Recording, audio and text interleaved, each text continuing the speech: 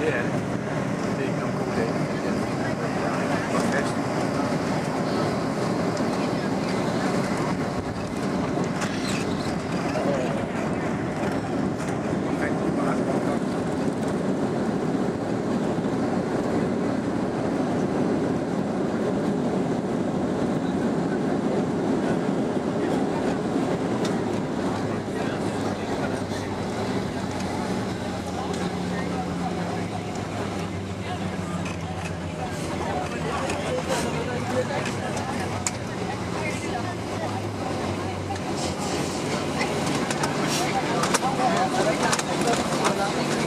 Pleasure to welcome you to the Fort Lauderdale Hollywood International Airport.